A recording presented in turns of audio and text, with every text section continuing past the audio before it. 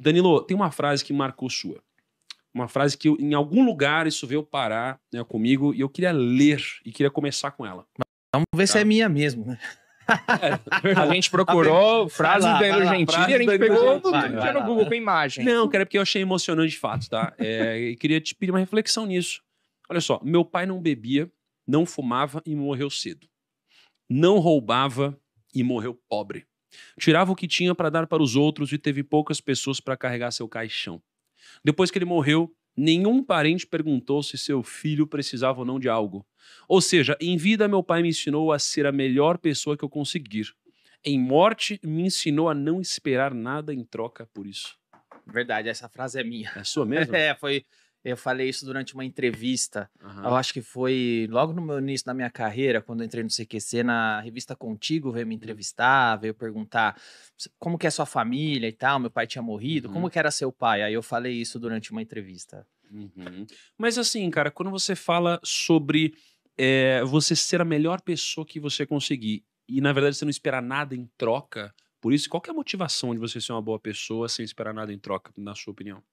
Cara, na verdade, é, é isso. é, isso não diz respeito a, obviamente, negociação financeira. Tô Uhum. falando de vida. Uhum. Eu acho que o- a recompensa de você é, é, ser uma boa pessoa é simplesmente você ser uma boa pessoa. Isso é, diz respeito com você. É como a Bíblia diz que o que, que o garçom acha que pode se gabar de estar servindo a mesa? Esse é o trabalho dele. Uhum. Esse é o trabalho do garçom. Então eu acho que você ser uma boa pessoa é, independe de você esperar as, as coisas dos outros. Você ser uma boa pessoa não é uma reação a alguém ser bom com você. Porque isso até uma pessoa má faz. Uhum. O mal faz isso. O mal, até o mal trata bem quem dá o, quando alguém que tem interesse dá o que ele quer, o mal também trata. A pessoa má trata ele bem. Agora, o compromisso de você é, é, ser a melhor pessoa que você pode Uhum. não diz respeito à recompensa, diz respeito à sua obrigação. Uhum. Essa é a sua obrigação. Legal. Cara, o que você falou é bíblico, né? Que assim, é, É. é fácil você amar quem te ama, o difícil é quem amar Isso. quem te, te odeia, né? alguma até, forma. os maus, até os maus amam quem amam eles. Isso, exatamente. E você, você tocou num ponto muito interessante, cara, porque você falou sobre. é, não é um direito tratar bem, é um, é um dever, é uma responsabilidade. Amor, não é? em nenhum momento Jesus ou a Bíblia trata amor como se fosse um sentimento. Amor é um mandamento. Uhum, uhum. Eu tenho que amar. Você não tá entendendo? É verdade. Você tem que amar os que te odeiam, inclusive. Que- e, e amor não é um, um, um sentimento, uma coisa escrita, uma palavra, um conceito. É uma ação. O que é amar quem te odeia? Quando o cara que, que te prejudicou precisar e você puder, ajude.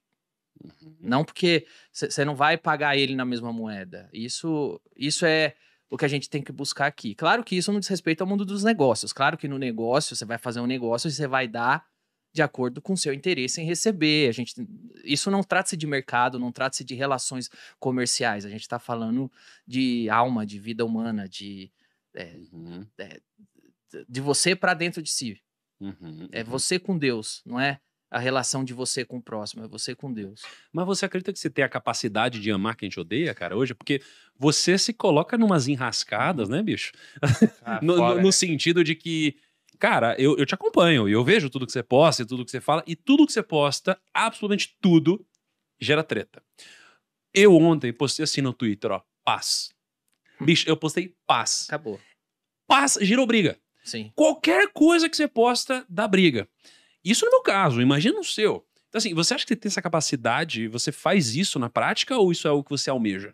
Não, isso é o que eu almejo e o que eu Ah. busco fazer. Aliás, eu almejo muitas outras coisas bem Hum. mais fácil que isso e, e fracasso. E, e- e não estou dizendo que eu. Eu não estou dizendo que eu sou essa pessoa. Eu estou dizendo que esse é o meu norte. Uhum, Que eu uhum. vivo para tentar ser, mas eu fracasso miseravelmente o tempo todo. Aliás, é- é, se eu não fracassasse, Jesus não precisava nem ter morrido, né? Eu ia lá e eu resolvia É tudo. verdade. Ele morreu exatamente porque é, são padrões impossíveis de se alcançar, mas que a gente tem que viver olhando e tentando alcançar.